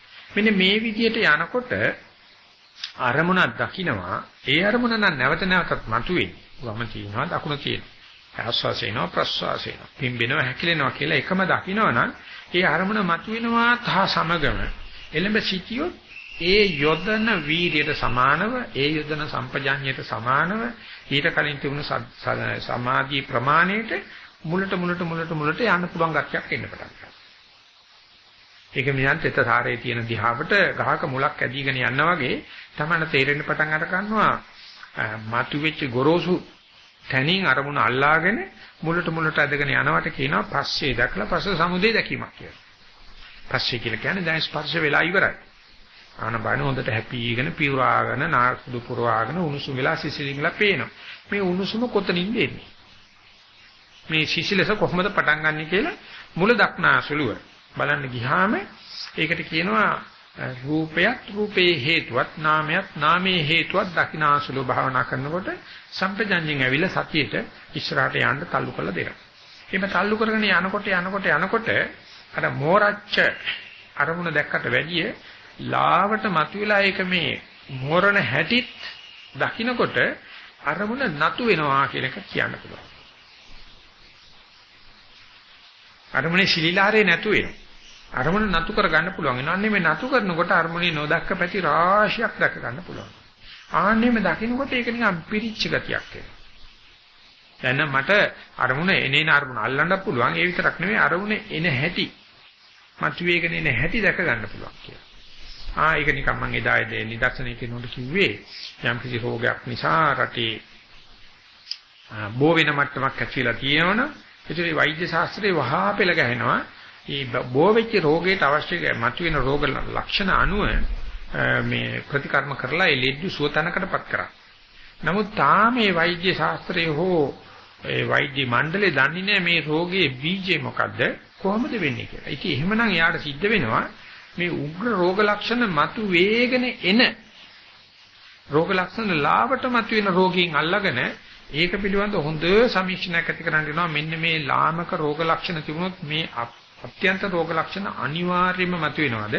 නැත්නම් මේ ලාමක රෝග ලක්ෂණ වලින් දුර්වෙච්ච ශරීරයට ඇතිවෙච්ච අතුරු ආබාධද කියලා වෛද්‍යවරු මේක නිකන් ආවට ගියට ගන්නෑ. රෝගේ හැදීගෙන ඉන්න ලෙඩුන්ට සාදර වෙන විදිහට සලකලා ඔක්කොම ලෙඩුන්ට එන්න ඇරලා හැදීගෙන ඉන්න ලෙඩ අල්ලගත්තට පස්සේ තේරෙන්න පටන් අර ගන්නවා. එතකොට රටට ප්‍රකාශ කරනවා මේ රෝගෙ මෙච්චර උග්‍ර වෙනකන් ඉන්න එපා. මේක ඇති වේගන එන ලකුණු මේකයි. එතනදීම එක්ක අපි ළඟට එන්න නැත්තම් මේ ප්‍රතිකර්ම කරන්න. එතකොට රට්ටුත් දැනුවත් වෙලා තවත් ඊට වැඩි ඉස්සරහට යනවා. ඉස්සරහට ගියාට පස්සේ මේ දරුණු වසංගත මට්ටමට පත්වෙච්ච රෝගෙට බීජේ මොකද්ද කියලා අහනවා. ඒකට හේතුව මොකද? ඒ බීජයෙන් පහර වැයිච්ච දුර්වල රෝගීන්ද දුර්වලකම මතින් එහෙම නැත්නම් එයාගේ ඇති ප්‍රතිශක්තිය අඩු වීම නිසා নানা ප්‍රකාර රෝග බීජ එන්න පුළුවන් নানা ප්‍රකාර ලෙඩ රෝග එන්න පුළුවන්. නමුත් මූල බීජ වෙන එක. දැන් පස්කී දවස්වල ආවා ඒඩ්ස් කියන රෝගේ ඒක ඇවිල්ලා සම්පූර්ණ මනුෂ්‍යයන්ගේ ප්‍රතිශක්තිය නැතුණා ඊට පස්සේ කවදාකවත් නැතුව යට වෙලා තිබුණු සය රෝගේ සම්පූර්ණයෙන්ම මතුවෙන්න පටන් දැන් ආයසරයක් ඒ නිසා සයරෝගේ ලෝකෙන් තුරන් කරා කියලා අඳුර පාගෙන හිටියේ වෛද්‍ය ශාස්ත්‍රය. දැන් ආයස වරදම කියලා. ඒ මොකද හේතුව මනුෂයාගේ ප්‍රතිශක්තිය අඩු වුණාට පස්සේ කොහේ හරි මුල්ලක තියෙන සයරෝගයට ඇවිල්ලා පහර දෙන්න පුළුවන් ශක්තියක් තියෙනවා. ඒ නිසා දැන් දන්නවා සයරෝගේ මතු වීම ඒඩ්ස් නෙවෙයි. නමුත් සයරෝගේ තියෙනවනම් ඒඩ්ස් වල ලකුණක් වෙන්න පුළුවන්. ඒව දැන් දැනුමට එකතු වෙනවා. මොකද අපි අර දරුණු ඒඩ්ස් රෝගීන් බලාන බලාන බලාන බලන ඇති වෙන තැනට ඇවිල්ලා තියෙනවා. ඉතින් මේක තමයි සරුවචනanse කියන්නේ යේ ධම්මා හේතුප්පබව තේසං හේතුන් තථාගතෝ ආහ. යම් යම් ධර්මයක් හේතුකින් හටගත්තා නම් ධර්මයේ හැදෑරීමේ ඒ ධර්මයට ඇතිවෙච්ච හේතුව දක්නා සුළුව බලන එක තමයි සරුවචනanseගේ අනික් කටිගේ වෙනස. අනික් කට්ටිය මේ රෝග ලක්ෂණ වලට වෙදකම් කරනවා. සරුවචනanse රෝග ලක්ෂණ වලට වෙදකම් කරන ගමන් රෝගක මූලයට හිත යොදනවා. මෙන්න මේක තමයි සතියට සම්පජඤ්ඤයෙන් තල්ලුවක් දෙනකොට භාවනා කරන යනකොට මතුවෙන මතුවෙන ආස්වාසිය දකින්නවනම් ඒ ආස්වාසිය කොහේ ඉඳලා දෙන්නේ කොහොමද මේ தත්වෙට එන්නේ ඉස්සල්ලා මේකේ ස්වરૂපේ නිකන් පනාමලක් ඇවිල්ලා ලොකු කොස්කිඩියක් වටපත් වෙනකොට ඒ කොස්කිඩිය දැකලා දැකලා ඉන්නකොට කොහොමද ගහකින් මේ කොස්කිඩිය එළියට ආවේ කියලා බලනකොට ඉන්නේ මේ බොහොම ලාවට පොඩ්ඩක් ඇවිල්ලා ඉන්නේ ඉන්නේ ඉන්නේ ඉන්නේ කිරි වැදිලා තමයි මේක හැදෙන්නේ. නිසා කොස්කෙන දන්න කෙනා දන්නවා මෙච්චර ලොකු ගෙඩියක් එකවර ඉන්නේ නැහැ. මේ බොහෝම පුංචි මනාමලක් කියලා තමයි ලොකු වෙන්නේ. අන්න එතකොට තේරෙන්න පටන් අර ගන්නවා මේක ක්‍රියාවලියක්. මේ ක්‍රියාවලිය කොස්කිඩියක් දැකලා බලන්න බෑ. ඒ ක්‍රියාවලිය බොහෝ කල් බලන්න ඕනේ. එතකොට වෙන්නේ මොකද්ද? කොස්කිඩියේ ආරම්භයත් කොස්කිඩියක් වේ. එන්නේ මේක තමයි නාමයක් නාමයේ හේතුවත් රූපයත් රූපේ හේතුවත්. එතකොට මේ කාරණා හයේදිම මේ ස්වාමීන් වහන්සේලා පෙන්ලා තිබුණා ස්පර්ශයත් ස්පර්ශය හට ගැනීමත්. එහෙම නැත්නම් අවසාන වශයෙන් සඳහන් කරපු සක්කායත් සක්කාය හට ගැනීමත් කියන මේ දෙක දකින්නකොටම කෙනෙක් උද්දාමයටපත් වෙනවා. මේ විෂය පිළිබඳව මට හොඳ දැනුමක් දැන් තියෙනවා. අනික් කට්ටිය මේ මතු පිට විතරක් දැකලා කතා කරන මම දැක්කා කියලා මේ දෙකෙන් හිත මන්වත් කරන ගතිය, හිත අන්ධබන්ද කරන ගතියක් තියෙන නිසා මේ මෝරච්ච අරමුණත් අරමුණ මෝරන්න ඉස්සල ස්වරූපයක් දැකීමෙන් වැඩ නතර කරන ගතිය තියෙන කෙනාට කවදාකවත් මේකේ අවසානය දක් ගන්න වෙන්නේ ඒ නිසා ආනාපානි කරගෙන යනකොට ආනාපානි සියුම් වේගන ඇති වෙන හැටි දකිමින් යාගෙන එනකොට අපි දැනගන්න ඕනේ මේ යන්තම් අරමුණු කීකරු කරගත්තා විතරයි සතිය තහවුරු කරගත්තා විතරයි සම්පජඤ්ඤය යොදවන්න පුරුදු කරා විතරයි. නමුත් මේකේ වැදගත්ම පියවර තමයි මේ ගොරෝසු තනින් පටන් අරගෙන සියුම් තැනට ගිහිල්ලා එනතම් මැද දැකලා මුලට ගිහිල්ලා දැන් මේක ඉවර නෑ. මේ ජවනිකාවේ අවසානය දකින්න ඕනේ. මේවා කෙලවර කොහෙද කියලා දකින්න ඕනේ. නැත්නම් මේ ආයතන කුණු කුඩේ කොහෙද කියන කියලා දකින්න ඕනේ කියලා අවසාන තැන දකින්න හදනවා කියන එක අපි සම්මත ලෝකයේ අභාග්‍ය සම්පන්න දෙයක් අසුබයක් නොදැකිය යුත්තක් කාලකන්නිකමක් කම්මැලිකමක් කියලා කියනවා. ඒක නිසා අපි මේ පැත්තට මෙහෙවන්නේ ඒ නිසා සම්පජඤ්ඤ අනිවාර්යයෙන් මෙතෙන්දි ක්‍රියාත්මක වෙන්න ඕනේ. සිද්ධියක් දැක්කා කියලා කියන්නේ සිද්ධියේ මුලැමැදාග තුනම දකින්න. හැබැයි මේ සිද්ධියේ මුලැමැදාග මේ මූලධර්ම අනුකූල කිව්වට දකින්නකොට ප්‍රත්‍යක්ෂයේදී මුලැමැදාග නෙවෙයි දකින්නේ මැද මුල අග කියලා ක්‍රමයක්. මේවට කියනවා චිත්ත නියාම කියලා. මේවට කියනවා ධර්ම නියාම කියලා. ඒව අපි හිතලා ගන්න දේවල් නෙමෙයි මේ සර්වඥාන්සේ දේශනා කරලා තියෙන දේවල්. ඒ නිසා අපි මැද දැකලා මුල දකිනවා. ඒකල අතනාරින වීර්යකින් කටයුතු කරන ගියොත් මුල මැද අග වශයෙන් දක්වනවා. ඒ නිසා සතිය විස්තර කරනකොට එක අර්ථකථනයක් තමයි සතියට වැඩි මේක විපස්සනාට ගැලපෙන්නේ යමක මුල මැද අග දැකීම. ඒකෙන් අදහස් කරන්නේ අපි යමක් දැක්කා කියලා මේ කතා කරන්නේ මැද විතරක් දැකලා කියලා හිතාගන්නවා. ඒකේ මුල දකින්න නම් ඒ සිද්ධිය වෙන හැටි හොඳට දකින්නත් ඕනේ. ඒකින් අතර නොවි අග දක්නා තෙක් මම දන්නවා මම දැක්කා කියලා හිතන්නේ නැතුව දිගින් දිගට යන්න. ආන්නේ විදිහට බලාගෙන යන්න සතිය අප්‍රතිහතව දිගට දිගට ක්‍රියාත්මක වෙන්න ඕනේ මේක සඳහා අවශ්‍ය දෙයක් තමයි එකම අරමුණ ආශේවති භාවේති බහුලීකරෝති කියන විදිහට දිගින් දිගට දිගින් දිගට අරමුණ ඇසුරු කරන්නේ නැතුව මේ ගැටේ ලියන්න බෑ. එනිසා සතිමත් වෙන පුද්ගලයා ඉස්සල්ලාම උත්සාහ කරන්න ඕනේ මගේ ගැටේ ලියන අරමුණ මොකද්ද? මූල කර්මස්ථානේ මොකද්ද? බිම්බීම ඇකිලිමද? ආනාපානයද? එදින්දා කටයුතු වලදී මොකද්ද? සක්මන් කරනකොට කොහොමද කියලා ගොරෝසුම තැන තමයි අල්ලන්නේ. ගොරෝසු තැනින් අල්ලගත්තට වැඩේ පටන් ගත්තා විතරයි. ඊට පස්සේ ඒකේ මුල කොහොමද?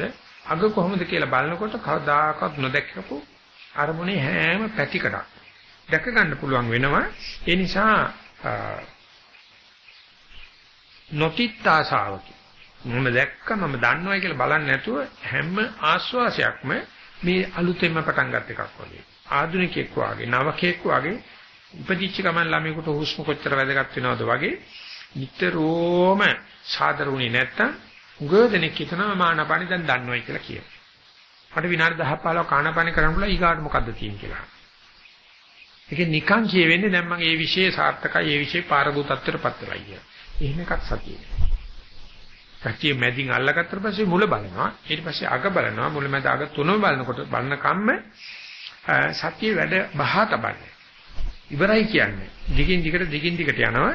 ඒ වගේම තමයි මේ දැනගත්ත දැනුමට කවදාකවත් මම මාගේ කියලා මාන්නක් ඇති කරන්නේ නැහැ. ඇත්තටම කියනවා නම් දැනුම වැඩි වෙන්න වැඩි වෙන්න තේරෙනවා අපේ තියෙන තකතිරුකම, අපේ තියෙන මෝඩකම. අපි මේ පොඩ්ඩක් දකින්නකොට තමයි කෑ ගහන්නේ. පොඩ්ඩක් දන්නකොට තමයි කෑ ගහන්නේ මේ මේ පිරිච්ච කලේ හෙල්ලෙන්නේ අඩු කල තමයි හෙල්ලෙන්නේ. ඒ නිසා සතිය වැඩෙන්න වැඩෙන්න පුදුම තලතුණකමක් එනවා. ඇතුළතට නැමෙනවා. දන්නවා කියලා අඟ බීමකුත් නැහැ. තව තවත් මේකේ දැකිය යුතු පැති රාශියක් කියන බාට විතරක් සාදර බවක් ඇති වෙනවා. ඒ නිසා කිසිම අරමුණක නීරස බවක් ඒකාරී ඒකාකාරීකමත් තනිකමක් එනකොට දැනගන්නවා මෙන්න මේ මාර්ගයෙන් තමයි අපිට මධ්‍යම ප්‍රතිපදාව වැහෙන්නේ. මේකෙන් තමයි සත්‍ය මුවා වෙන්නේ. මේ නීරස ගතිය නිසා සරුවචනාංශයේ දේශනාවේ සඳහන් කරන්නේ අපිට දුක්ඛ සත්‍ය අවබෝධ කරන්න බැරි මෙන්න මේ ඉරියව් මාරු කරන නිසා. ඉන්නකොට ඉන්නකොට වේදනාව එනවා, එපා වෙනවා, කම්මැලි වෙනවා, නීරස වෙනවා. ඒකට අපි ඉරියව් මාරු කරනවා. අරමුණු මාරු කරනවා, ගුරුවරු මාරු කරනවා, භාවනා ක්‍රම මාරු කරනවා. නානා ප්‍රදේවල් වලට මාරු කර කර මාරු කර කර ගිනි අඟුර අතින් අතට මාරු කර කර යනවා. මිසක්කා මේකේ දැවෙන ගති තත්ත්වය දැක් ගන්න කැමතියි. ඒක නිසා සතිය ඒක ලක්ෂණයක් තමයි ගත්ත එකම නැවත නැවතත් එන්නරලා දිගට බලනින්න එක සතියේ අවශ්‍යතාවය. ඒ වුණා ඒ වගේම තමයි අරමුණ මතු පිට දැක්කට නතර නොමික විනිවිදිමින් ඇතුළට යන ගතිය. ඇතුළට යන්න යන්න යන්න යන්න ඕනෙම අරමුණක තියෙන මේ 11 ආකාරය අතීතනාගත වර්තමාන වශයෙන් ගොරෝසු සියුම් වශයෙන් ප්‍රිය අප්‍රිය වශයෙන් දුර ළඟ වශයෙන් අජත්ත බහිද්දා වශයෙන්. හැම හැම දෙයකටම මේක ਸਰවඥාන්සේ යොදලා තිනවා. මේ සියල්ල දකින්නකන් දැක්කා කියලා කියන්නේ. මේ සියල්ලෙන්ම මේ හය ආකාරයෙන් අතීත අනාගත දෙකම දකින්නට අපි හිත පශ්චාත්තාප ඕලාරික සියුම් වෙනකොට සියුම් වෙනකොට පශ්චාත්තාප ප්‍රිය අප්‍රිය දෙකේ අප්‍රිය වෙනකොට පශ්චාත්තාප දුර ළඟ දෙකේ දුර වෙනකොට පශ්චාත්තාප අජත්ත බහිද්දායකේ බහිද්ද වෙනකොට පශ්චාත්තාප එනිසා අපි හුඟා කරුණු හිතාගෙන ඉන්නවා භාවනා වැරදිලයි කියලා. නමුත් භාවනා වැරදිලා කියලා කියන්නේ සමාධියේ නම් අඩුපාඩුකම් වෙනවා වෙන්න පුළුවන්. නමුත් මේ හැම දෙයක්ම දකින්නේ සතිය. ඒ නිසා සතිය තියෙන නිසායි මේ ප්‍රිය ප්‍රිය ගති දකින්නේ. ඒක සතිය වර්ධනයක් මිස සතියේ කැඩී යාමක් නෙවෙයි. ඒ නිසා යෝගාවචරය සමාධිය පැත්තෙන් නම් භාවනා දිහා බලන්න කියනවා අනේ මට ඉස්සර තිබුණ තරම් භාවනා කරගන්න බෑ. මගේ භාවනා කැඩිලා. ඒ මොකද යා හිතන්නේ මේ සමාධියම ප්‍රධාන දේ කරගෙන. මෙන්න මෙතනදී මේ සතියට මූලස්ථානේ සතියට මුල් පුටුව දීපු කෙනාගේ කවදාකවත් මම දැකලා තින්නේ චරු චුරු නැහැ. පශ්චාත්තාප නැහැ, චෝදනා නැහැ. චෝදනාවක් එන්නෙම සමාධි ඉස්සරහින් තියාගත්ත කතිය තමයි. සතියේ නෑ සතියේ එන தත්ත්වය ඇති හැටියෙන් දැක් ගන්න පුළුවන් ශක්තියක් තියෙනවා. ඒ වගේම සතිය ඉස්සර කරගත්ත කෙනාට හැම ජයග්‍රහණයක්ම හම් වෙන්නේ නිතංගේ. රණ්ඩු කරලා නෙමෙයි. ශ්‍රද්ධාව තියෙන කෙනා රණ්ඩු කරලා දිනන. වීර්යය තියෙන කෙනා රණ්ඩු කරලා දිනන. සම සතිය තියෙන කෙනා අවස්ථාව වෙනකන් ඉඳලා තමන්ගේ ජාම බේර ගන්නව කිසිම විරුද්ධකාරයක් ඇති කරගන්නේ නැහැ. දිනුවයි කියලා පෙරදිච්ච පක්ෂෙන් ඊර්ෂ්‍යාවට ලක් වෙන්නේ. නිතරම ජයක් ලබන්නේ. ඒ නිසා අවස්ථාව එනකන් කරගෙන කරගෙන කරගෙන යනවා. ඒක කරගෙන යන්න දෙන්නේ නැති එකට තමයි අපි කියන්නේ අපේ තකතිරකම. අපේ පඬිතරම්. අපේ අං එන ගතිය. මේක මේ වෙලාවට ඉස්සලා මට කරන්න ඕනේ. මේක මේ වෙලාවේ එන්න ඕනේ කියලා අපි ඒකට මේ තත් ආරෝපණය කරන්න හදන්නේ මොනවාක්වත් තත් ආරෝපණය කරන්න පටන් අරගත්තොත් සතිය අර નિસર્ગ වර්ධ මේ නයිසර්ගික වර්ධනයේ බාධා වෙනවා. ඒ නිසා සතිය කියලා කියන්නේ එක පැත්තකින් මේ දන්න දේ ප්‍රතික්ෂේප කරලා නොදන්න දේට දොරාරින. දන්නා තැන සිට නොදන්නා තැනට යෑම කියලා මේකට කියනවා. ගොරෝසු තැන සිට සියුම් තැනට යෑම කියලා කියනවා. එතකොට මේක සාමාන්‍ය ලෝකයේ උගන්වන අ විශේෂාස්ත්‍ර වලට වෙනස්. විශේෂාස්ත්‍ර පුළුවන් තරම් දන්නේ දැනුම වැඩි කරගන්න. වැඩි කරගත්ත පමණට උපාදිද පශ්චාත් උපාදිද ගොඩාක් හම්බෙන නම ලියා ගන්න සාමාන්‍ය ෆුල් ස්කැප් වලකුත් මතුවේ. දිගින් දිගට දිගට ඉස්සරහින් පස්සෙන් කැලියෙන්න පටන් ගන්නවා. සත්‍ය එනකොට ඒක මොකක්වත් නැත්තේ නේ. මෙතෙක් තමයි මේ දැනගැනීමෙන් කුරුවල් වෙච්ච මොලේ. මුස්කාපු එක දැනුම සම්පූර්ණයෙන් අයින් කළා දාලා ඒ නොදන්නා දෙයට විවෘත වෙනකොට හරි අහිංසක කතියක් හරි නිහතමානී ගතියක් මේක මේ නව ලෝකයේ නැත්නම් නව විද්‍යානුකූල නිෂ්පාදනات එක්ක බලනකොට අද භෞතික විද්‍යාව එහෙම නැත්නම් මේ රූප අල්ලන්න පුළුවන් දේවල් පිළිබඳ අපි කොච්චර දියුණු වෙලා තියෙනවද කියලා කියනවනම් අද ලෝකේ ඉන්න ප්‍රධාන පෙළේ මේ විද්‍යාඥයෝ දන්නවා මුළු විශ්වය ගත්තත් එක අංශුවක් නැත්නම් පරමාණුවක් ගත්තත් ඒ නැත්නම් මගේ කය කියන එක ගත්තත් මේකේ අපිට අහුවෙන්නේ සියල්ලෙන් 102යි. උප්පරීමේට ගියෝ 104ක් අපිට දැක ගන්න පුළුවන් 126ක්ම ඩාර්ක් මැටර් කියලා මැටර් කියලා කියන්නේ අපි රූප ධර්ම කියන එකයි අපිට සාමාන්‍ය පාලියට දාන්න තියෙන්නේ. ඒ රූප ධර්මා සමාන පේන්නේ නැති කොටස් වර්ගයක් තියෙනවා. නෑ කියන්න බෑ. උපමාවක් විදිහට කියනවනම් අපි මේ බුදුරස් රශ්මි මාලාවේ තියෙන ඒ ෂඩ්වර්ණ රශ්මිය විද්‍යාවකට හතකට කඩලා පෙන්නනවා. ඒ රශ්මිය වලට පස්සේ ඉස්සරහිමුයි තියෙනව තමයි ඔය අල්ට්‍රාවයලට් මේ මේ පතුරු රත් මේ කැමරා රත් කරන උදුන් හදලා තියෙන්නේ දැන්. ඒ වෙනත එක්ස්රේ තියෙන්නේ. ඒවා තියෙනවා එක්ස්රේ වල තියෙන එක අපිට පේන්නේ නැහැ. ඒකට හැබැයි මේ ආලෝකයෙන් වගේ වැඩ ගන්න පුළුවන්. ඊට වැඩිය ඉහළ පහළ ගියාම තමයි මේ ශබ්ද තරංග ඇවිල්ලා තියෙන්නේ. ඊට පස්සේ ගියාම තමයි මේ රේඩියෝ තරංග තියෙන්නේ. ඒවා මේ ලෝකෙ පිරීලා තියෙන්නේ. ඕන තැනක රේඩියෝ එකක් දාපම වැඩ කරන්නේ තරංග තියෙනවොත් පේන්නේ. ඒ නිසා අපි කියනවා නම් පේන දේ පමණයි සත්‍ය කියලා. අපි ඒ තරමටම අන්දයි පේන දේවල් ලෝකයේ සම්පූර්ණ සමස්තයෙන් 104යි කියලා. 126ක්ම තියෙන්නේ නොපෙනෙන දේවල්. 70%ක්ම තියෙන්නේ නොපෙනෙන ශක්තිය. ඒක නිසා මේ රණ්ඩු කරන්නේ දන්නවයි කියලා කියන්නේ ලොකු පුංචිකම් හොයන්නේ 104ක් උපරිම වුණ 104ක් දැනගෙන. ඒකක් දන්නේ නැහැ අපි. එතකොට අපි කවදද අර කියන 120ක් වෙන නොපෙනෙන ද්‍රව්‍ය සහ නොපෙනෙන ශක්ති දැනගන්නේ නිසා සතියට ඉඩ දුන්නොත් සතිය කවදාකවත් අර 104 නතර වෙන්නේ නැහැ. සම්පූර්ණ පරාසය පෙන්වනවා. එතකොට අපිට පේන්නේ අපි නොදන්නා තැනකට ගියා. අපිට නිකන් කලකොල වුණා වගේ. අන්දමන්ද වුණා වගේ. මතක නැති වුණා වගේ. සහලවල අතෑරියා වගේ. ඉතින් අපි දන්න දැනුමට දුවගෙන එනවා අපවසරයක්. අර නොදන්න දෙයට තියෙන බයකම නිසා.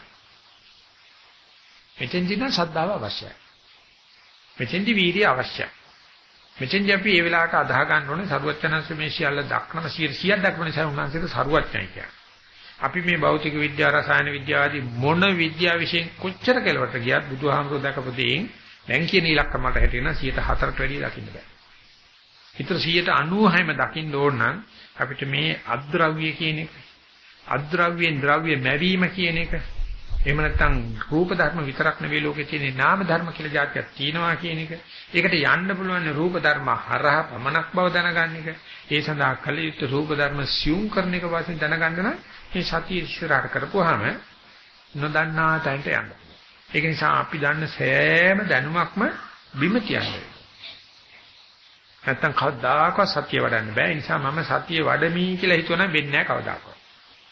අපිට කරන්න තියෙන නැවත නැවත අරමුණට හිත යොදන්න ඕනේ. යොදනකොට මුල දැකපු අරමුණේ මැදට මැද දැකපු අරමුණේ මුදට ගිහිල්ලා අවසානයේ අන්තිම තැන දකින්න දක්වාම යනකොට තේරෙන පටන් අර ගන්නවා විද්‍යානු විද්‍යාකාරයෝ අනුදක්න දුරදක්න වලින් බැලුවත් බුදුරජාණන්සේ මොනවාක්වත් නැතුව ධම්මචක්ෂුසින් බැලුවත් මේ ලෝකයේ පෘථග්ජනයට පේන්නේ ඉතාමත්ම පොඩිටයි ඒ දේ පොඩිකම නිසාමයි ඇති කිචානෝ නිතරම ජග ජග ගානෝ කියලා තමන්ගේ නොදැනුවත්කම ස්ථිරතාවයෙන් නැති වෙන්න ජග ජග ගන්න.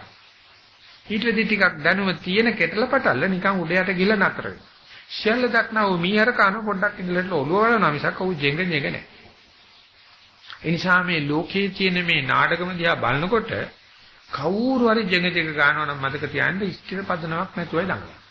පදනම තියෙන කෙනාට ජග ජග ගන්න දෙයක් නැහැ. නිසා සතිය එන්නේ එන්නේ ස්ථාවර වෙනවා නිස්සද්ද භාවයටපත් වෙනවා. තලතුණා බවට පස්සේ මොකද මේ ලෝකයේ තියෙන දැනුමට මහා තනක් දෙන්නේ Taman අස්පනා පිට ප්‍රත්‍යක්ෂ කරන දේ. අස්පනා පිට විඳින දේ තමයි වැදගත් දේ. කවුරුත් පොත්ක ලියපු දෙයක්වත් කටපාඩම් කරපු දෙයක්වත් අපි තැනකට යොමු කරවන්නේ. ඒක නිසායි දරුවචනස්ස කෙලින්ම සෝපාක දැක්කට පස්සේ ප්‍රශ්න 10ක් ඇහුවා රහත් වුණා. පටාචාරා මේ වගේ බණ කික්කියා ඉන්නකොට දඩස් ගාලා ඇඳුම් මොකක්වත් නැතුව තරුණ වයසේ කාන්තාවක් ඇදගෙන වැටුණා. සර්වඥාන්ස කිව්වේ නංගි සීයේ ලෝගණින් කිව්වා. සීයේ ලෝපු ගමන්ම මේ ධර්ම දේශනා මණ්ඩපෙ මිඳගෙන සෝවාන් වෙන්න තර අර අච්චක දරුවෝ මැරිලා තාත් ස්වාමියා මැරිලා අම්මා තාත්තා මැරිලා මල්ලි මැරිලා තේරම වෙලා අවුල්ච්ච මනුස්සය ඇඳුම් නැතුව උම්මත්තක වෙච්ච මනුස්සයාට සත්‍ය පිටුකම අනිශ්චයල්ලම හම්බෙනවා. ඉතින් අපි කිව්වනම් කියන්නේ ඔතන වාඩින්න පන්සිල් ගන්න පන්සිල් ගන්න අටසිල් අර ගන්න අටසිල් අරගෙන සාමණේර වෙන්න සාමණේර උපසම්පදා වෙලා පස්සේ සාමණේර බණ දාපොත් කියවලා ඉස්සල්ලාම චතුරාර්යක භාවනා කරා. චතුරාර්යක භාවනා කරලා සුමාන දෙකකට පස්සේ ඔන්න ආනාපාන කරන්න කිව්වනම් පටාචාරයට මොනවා වෙයි? මේ මොකක්වත් මෙතන නැහැ. මේ මොකක්වත් මෙතන නැහැ. මනසට ඕන දේ කතා කරපු ගමන් මේ පිටින්. ඒ මොකද මේ දන්න දේෙන් තමයි අපි පස්සට අදී. අපි නොදන්න දේ වැඩි කියලා නොදන්න දෙයට යන්න ලැස්ති නම් භාවනාදී ඔය කඩාගෙන යනකොට ජීවිත පරිත්‍යාගයේ කාය පරිත්‍යාගයේ යන්න නම් ශ්‍රද්ධාව අවශ්‍යයි. වීර්යයක් අවශ්‍යයි. ඒ වගේම සමාධිය ප්‍රඥාවක් අවශ්‍යයි. නමුත් ඉස්සර වෙන්න ඕන සතිය. සතිය උගන්වන්නේ අපිට මෙතෙක් නොදකපු පැත්තට අභීතව වීර වෙරේක් වාගේ භික්ෂුවක් වාගේ භික්ෂුණියක් වාගේ ඉදිරියට යන ගතිය. නිසා සතියට යන මිනිස්සයා ඒ අර සාමාන්‍යයෙන් කියනවා මේ මధుරවා ගෙදර ඉඳලා එනකොට පවුලට කෙලෙනවලු රැයට චතස් ගාලා සද්දයක් ආවොත් කැම තියන්න එපයි කියලා. ඒකේ අපි සතිය වඩන්න යනකොට ගිහිල්ලා එන්නම් කියලා ඇවිල්ලා කරලා බෑ. යන්නම් කියලා යන්න ඕනේ. ඒකෙදි පිස්සු ඇතුනම් පිස්සු ඇච්චාවේ මැරුණා මැරිච්චාවේ මම මේක අරගෙන යනවා කියලා. හැබැයි මම දන්නවා මේ මට්ටමට එන්නේ සතිය සෑහෙන තහවුරු වුණාට පස්සේ. නමුත් මතක තියාගන්න පටන් ගන්න ඉස්සෙල්ලා මේ සතිය කියලා කියන එක ඒකාකාරීව ඉදිරියට වර්ධනය වෙන ධර්මයක්. අනිකුත් දේවල් එක්ක වගේ ආපස්සට බැලිලක් මේක ඇත්තේ නැහැ. ඒ නිසා භාවනා කරන යනකොට Tamanට අරමුණේ ඉන්නවා දන්නවනේ. ඒක ප්‍රත්‍යක්ෂ බව දන්නවනේ නොදන්නා ශේෂ්ත්‍රයකට යනවා දන්නවනේ මතක තියාගන්න මේක තමයි අපි මේ දන්නා තැන සිට නොදන්නා තැනකට යන්නේ අනේ මේක තව දුරටත් මට කරගන්න ලැබේවා කියලා. ඒක ප්‍රත්‍යක්ෂයට තියෙනවා. හිතුමනාවක් නෙවෙයි ඉදිරියට යන්න නම් කී වාරයක් අපි මේ මොඩකම කරලා අපෝ මේ ඉඳ කියන්න බෑ.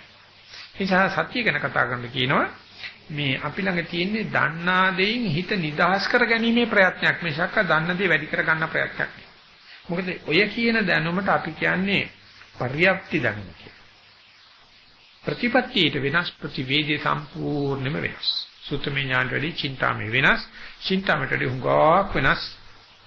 ඒ භාවනාමේ ඥාන මේ සතියට මේ තුනම අල්ලන්න පුළුවන්.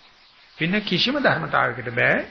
කොහොමද මේ සද්ද මේ සුතමේ ඥානය චින්තාමේ මට්ටමට යනකොට මේම කියන්නේ නැතුව වෙන කරන්න දෙයක් නැහැ. නමුත් මේක නෙවෙයි මේ කියන්නේ කියලා තේරෙනවා. ඊට පස්සේ ඒක අත්දකින්නකොට තියෙනවා බුදුහාම මේ මං කොච්චර කල් මේක අහලා තියෙනවද? නන් දැන්නේ දන්නේ මේක මෙහිමයි කියලා. ඒක මොකද්ද සල්ලම් වීම සිද්ධ වෙනවා. ඒ පුරාවට සතිය තියෙනවා. නිසා සතිය හැම වෙලාවෙදීම දන්න දේ මත දන්න දේ කියලා කියන්නේ මූලධර්ම දැනුම මත නෙවෙයි රඳාපවතින අත්දැකීම මත. ඔයගොම කවදාකවත් මේ දැක්ක දේ දැනගත්ත දේ මමය මාගේ මගේ ආත්මය කියන ගතියක් කවදාකවත් සතියේ නෑ. සද්ධාවෙන් අල්ලගත්ත දේ නම් මම මාගේ කියන ගතියක් එනවා. වීර්යයෙන් අපි යමක් ළඟා කරගත්තොත් මමයි මේක ළඟා කරගත්තේ කියලා අපිට දිනුක දිනුම අයිතිවාසිකමක් ඒක සතියේ ප්‍රධානම දේ තමයි කවදාකවත් මේක මමය මාගේය මගේ ආත්මය කිරීමක් නෑ. ඒ වගේම තමයි සත්‍ය ගැන කතා කරනකොට කියනවා මේ සතිය දිනු කර ගැනීමට තියෙන එකම එක ක්‍රමයයි වරද්ද වරද්ද සතිය පිහිටවීම. ප්‍රාර්ථනා කරලවත් ගුරුවරයෙක් ඇසුරු කිරීමකින්වත් ගුරුවරගේ ආශිර්වාද ලැබීමකින්වත් පින් කරලවත් එහෙම නැත්නම් පොත්පත් කියවලා කවදාකවත් සතියට ඍජු ආධාරයක් නැහැ. ඒක සහිතම ආධාර තියෙන අනිව මේ වක්‍ර ක්‍රමයේ.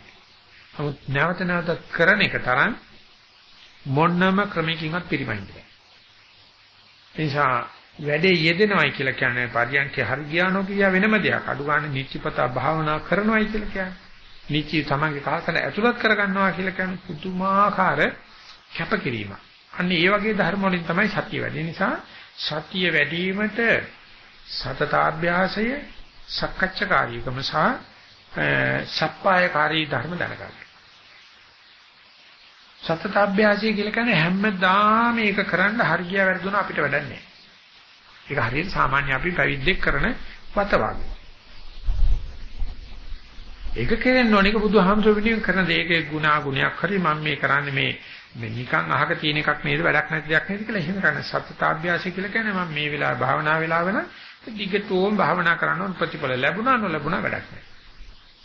ඊගාට සක්කච්ඡාකාරීව කරන්න ඉතාම ආදර ගෞරවයෙන් නෙමෙයි කරන්නේ. වදේ පොරෙන් බේරෙන්න නිකන් ලකුණු ගන්න නෙමෙයි.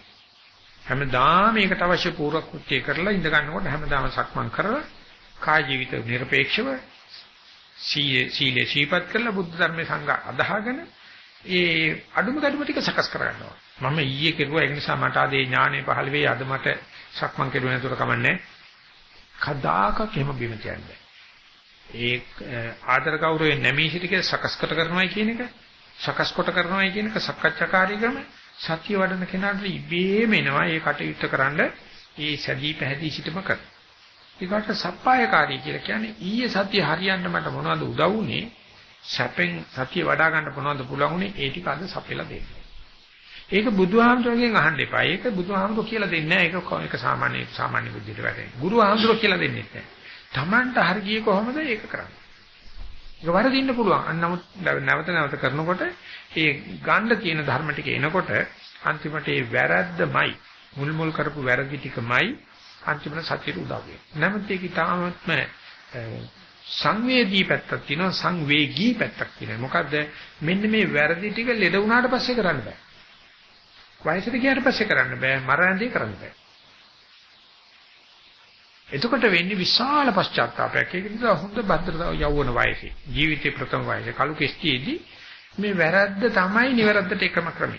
නොදැනීමෙන්මයි නැත්නම් නොදැනීම දැනගැනීමමයි දැනීම කියන්නේ කියලා මේ ප්‍රත්‍යක්ෂයට ලංවීම සඳහා ගුරු ආචාර්ය ප්‍රචාරණ වාසලා මොනවද කියලා කියන එක නැවත නැවත කිරීමේ මේ සතිය කෙරීගෙන යනකොට මට තේරෙන දේ තමයි නිවනටපත් නොවුනට සත්‍ය අවබෝධ කරනකොටම නිවෙන රස තේරෙන්න පටන් ගන්නවා. කවදාකවත් අන්ධහැර පෑමක් නැහැ.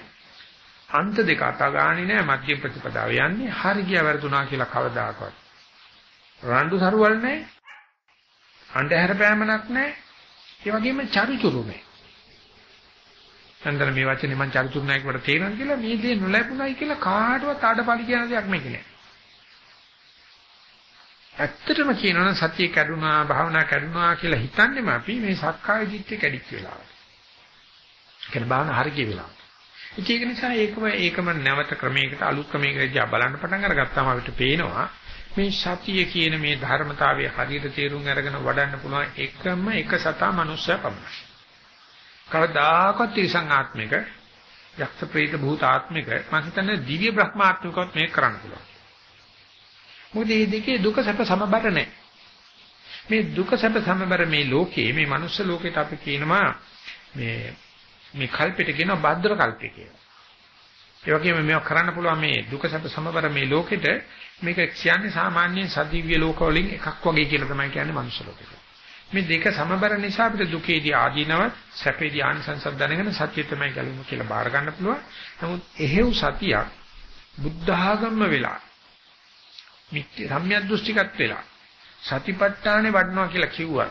භාවනා කරන්න ගියාම අපි කොච්චර නොසලකා හරිනවද කියලා බලන්න. සද්ධාව නැති වුණොත් අපි අඬනවා කලබල වෙනවා. වීර්ය නැති වෙනකොට නිදිමත වෙනකොට කලබල වෙනවා. සමාධිය නැතිකොට කලබල වෙනවා. ප්‍රඥාව නැතිකොට කලබල වෙනවා. නමුත් ප්‍රධානම නළුවා නැත්නම් ප්‍රධානම මේකේ කෘත්‍යාධිකාරී ක්‍රම කරන සතිය ගැන ඉතාමත් මඩු සැලකිල්ලක් කියන්නේ ඒ තාකල් අපිට මේක අඬා අඬා බර අදින්න වෙනවා. දවසක මේ සතිය අර්ථකථනෙ දීලා ඒ සතිය ඉස්සරහින් තියාගත්තට පස්සේ නිකන් සාමාන්‍ය ජීවිතේ නිකන් කන්වේ බෙල්ට් එකක් උඩ තිබ්බ එකක් වගේ තමයි. ඒකෙන් භාවනා අරගෙන යන්න පටන් ගන්නවා ඊට පස්සේ. අපිට තටමන්න දෙයක් නෑ. අපිට තටමන්න තියෙන මේ සතියට මුල් තැන දෙනකන් තමයි. ඒක හැබැයි සාමාන්‍ය බෞද්ධයා එච්චර සලකන දෙයක් නෙවෙයි. සාමාන්‍ය බෞද්ධයා කියන්නේ ඒක හැඟීමක් නෑ, කැක්කමක් නැති දෙයක් කියලා. නමුත් අපි කරලා කරලා කරලා පින් කරලා කරලා පාරමිතා පිටලා පිටලා ඔක්කොම වෙච්ච දවස් අපිට තේරෙන්න පටන් ගන්නවා මේ මාළුව කන්න බෑ ලුණු නැතුව. අනික මොන රසමසවුල දැම්මත් ලුණු පදම ඉන්ඩෝනේසියා සර්වඥයන් සඳහන් කළා තියෙනවා මේ අප්‍රමාදයේ රාජභෝජනයේ තියෙන ලුණු වගේ බොහෝම ටිකයි තියෙන්නේ. හැබැයි ඒකෙන් තමයි රස අරන්නේ. ඒක නිසා අපි මේ දවස් 10ක් භාවනා කරලා දවස් 10ක් බණැව්වා. මේ සියල්ලම නිසා සියලු දිනාට මේ සතිය ඉස්සරහින් තියාගන්න. සතිපට්ඨානය කිරීමයි අපේ ජීවිතේ ප්‍රධානම දේ. නැත්තම් අපේ ආධ්‍යාත්මික ප්‍රධාන දේ කියලා කිව්වොත් ඒක මතක තියාගන්න තමන්ගේ ආධ්‍යාත්මික ශාසනය කියන සීල සමාධි ප්‍රත්‍යක් වඩන අතර අද ලෝකෙට අවශ්‍ය කරනා වූ බාහිර ශාසනයේ වැඩවලට වහං කණුවක් වාගේ ජයතඹක් වාගේ කද්දාකත් නොසලන ශක්තියක් ඇති කරගන්න. ඒක සඳහා තමන් අද ඉන தත්ත්වයේ දීනයි හීනයි තුච්චයි පහනයි පාහරයි කියලා කවදාකවත් හිතන්න බෑ. අපි මේ වැටි වැටි හරි දඟලන්න හදන්නේ මේ කොන්දපන් නැති සතියට කොන්දක් දෙන්න. ඒ නිසා මේ කරගෙන යන වැඩ දිහා බලනකොට අනිකෝ සෙසු ලෝක සත්‍යත් එක්ක බලනකොට අපි සෑහෙන පියවර ගානක් අරගෙන තියෙන්නේ. මේකට තමයි නිග්‍රහ කරනවා විතර කෙලේශයක් තව නැහැ. මේකට තමයි නිසිතන දෙනවා විතර ප්‍රඥාවක් ලෝකේ නැහැ. ඒ නිසා මේ ධර්ම කොටාශ මේ බණ භාවනා මේ දාන සීල කටයුතු නිසා ඒ තමන් වඩාගතින් කියන සත්‍ය තව තවත් දියුණු කරගන්නත් ජීවිතේ සෑම ප්‍රශ්නයකදී සහ තීර්ණාත්මක තැනකදී සතිය ඉස්සර කරන කටයුතු කරන්නත් දෙන්නේ එකතු වෙලා කතා කරන්න යන්න බෑ මේක කවදාකවත් වෙන්නේ නැහැ. Taman taman වශයෙන් මම දැන් මෙතන කියන මට්ටමින් අදිස්ථානයක් ගන්න. ඒ අදිස්ථානයේ කවදාකවත් වරදින් නැති බවට මම සාති වෙනවා සියලු දිනාට මේ අදිස්ථානයේ ගන්න ලැබේවා සාර්ථක කරගන්න ලැබේවා කියන මට්ටමේ අද ධර්ම දේශනාව මෙතන නතර කරනවා සියලු දිනාටම සනසීමු දා වේවා කියලා ප්‍රාර්ථනා